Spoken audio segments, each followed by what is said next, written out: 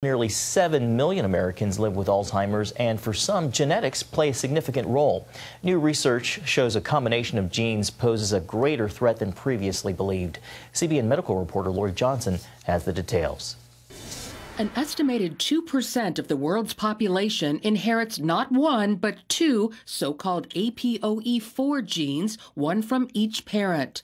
Until now, scientists considered this a red flag for developing Alzheimer's, but now see it as more of a certainty. So that indicates that it is not just a risk factor, but a, that it's a strong predictor that these individuals would develop Alzheimer's pathology.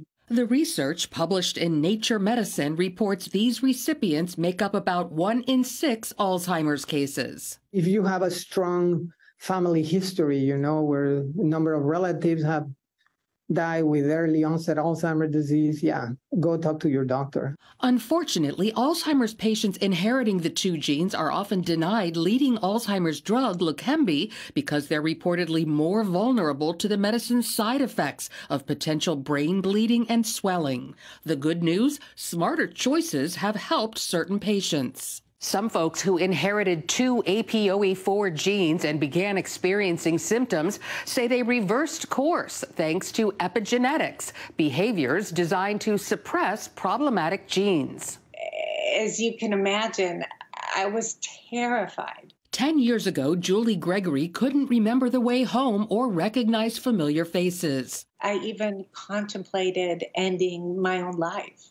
And I think prayer brought me to the point where I realized what I was learning from mainstream medicine just wasn't true. She says her symptoms reversed after a program of eating a ketogenic diet, intermittent fasting, eliminating exposure to toxins like mold, and more, developed by Dr. Dale Bredesen. Julie's story is one of seven featured in his book, The First Survivors of Alzheimer's. They gave their their specific protocols because they are personalized.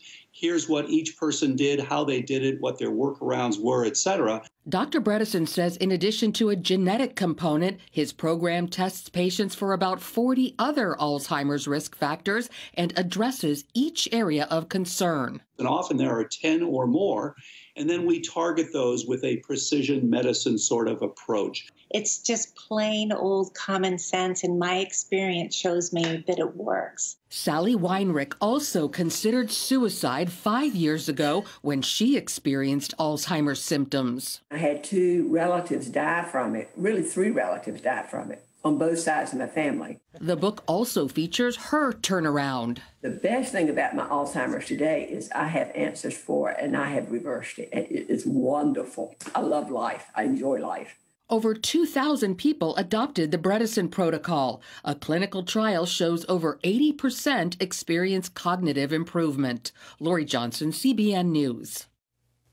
Some positive information on a debilitating drug. Gordon?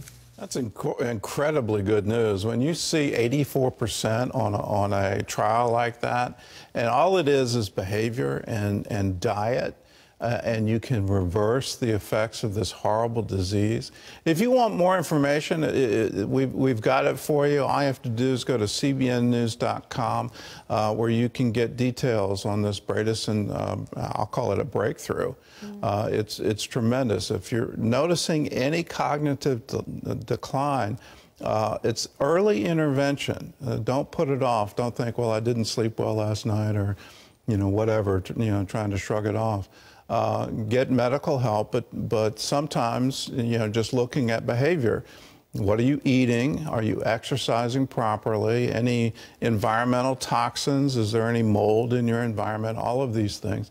Uh, we, we want to help you, and so, you know, click that link, go, go, to, go to cbnnews.com, and you can find out more information.